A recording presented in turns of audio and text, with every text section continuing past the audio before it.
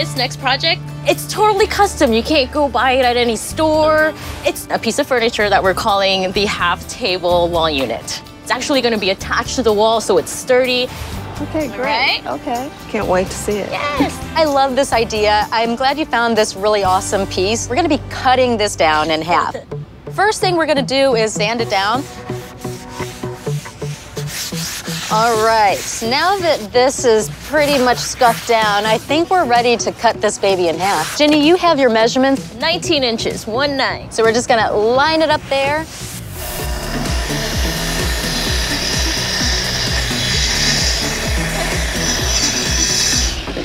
Nice.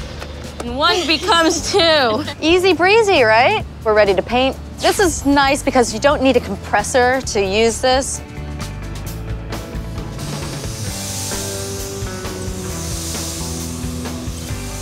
So I'm gonna hand it over to you. Just do a light coat on it and keep it moving. Oh yeah, I like this. I Feel like I'm doing a dance. So what do you think so far? It looks great. It really does.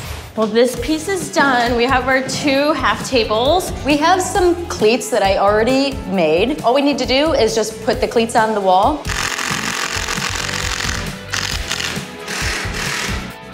Then just set it right on top of here. So that is our first piece. All we need to do now is just drill it from the bottom. That's the first table. Same thing with the second table.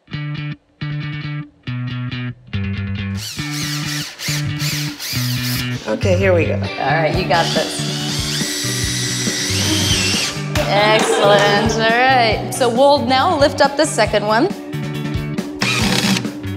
I think that's good. I love it. I, I, I couldn't picture it at first, but it looks great.